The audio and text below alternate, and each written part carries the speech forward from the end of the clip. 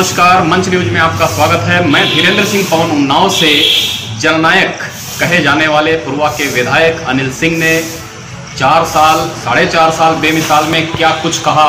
आइए सुनवाते हैं उन्हीं के मुखारबिंद से। अनिल सिंह से क्या बात हुई? साढ़े चार साल के विकास के मुद्दे पर गौशालाओं पर उन्होंने क्या जवाब दिया? और पूछे गए सवालों पर विस्तृत जानकारी के लिए हम रुक करते हैं उन्हीं की तरफ़। मतलब बीस हज़ार परिवार और उसके बाद आपने देखा होगा कि 300 रोडें छोटी बड़ी मिलाकर जो मौरावा पुरवा मौरावा लखनऊ और तमाम ऐसी रोडें हैं जो बड़ी बड़ी रोडें भी बनवाने का हम लोगों ने काम किया। दूसरा, प्रत्येक ग्राम सभा में स्वच्छ भारत अभियान के तहत हम लोगों ने प्रत्येक ग्राम सभा में एक एक शौचालय देने का काम किया।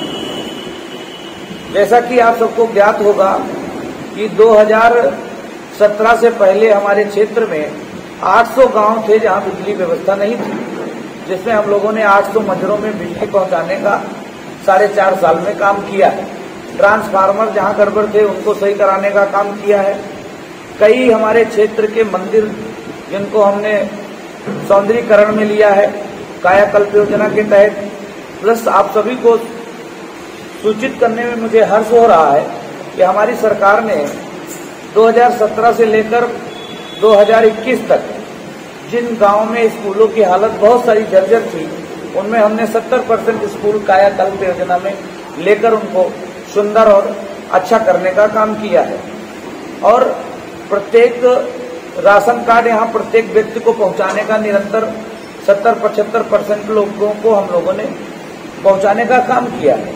महत्वपूर्ण यह है कि हमारे क्षेत्र में जिस तरीके से फर्जी लोगों की जमीनें कब्जा करना, तमाम ऐसे काम थे जिन्होंने जिन लोगों ने कब्जा कर रखा था, उनको छुड़वाकर उनको, उन तक पहुँचाने का काम हम लोगों ने किया है। पेयजल की योजना के तहत 100 ग्राम सभाओं में हम लोगों ने हर घर नल, हर घर जल पहुँचा दिया है, जो लगना शुरू हो रहा है।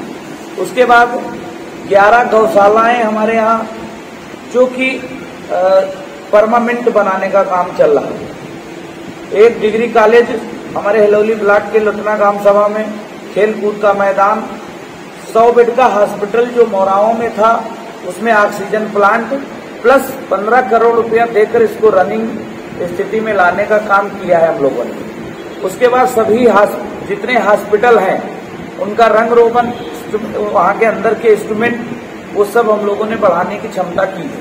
प्लस बीच में कोरोना महामारी में हम लोगों ने, आपने देखा होगा कि जिस तरीके से हमने सबको व्यवस्थित करके, क्योंकि ये बहुत बड़ी महामारी थी, जिसमें हम लोगों ने लगातार निरंतर आठ आठ महीने तक राशन मुक्त दिया। तमाम लोगों को रोज़गार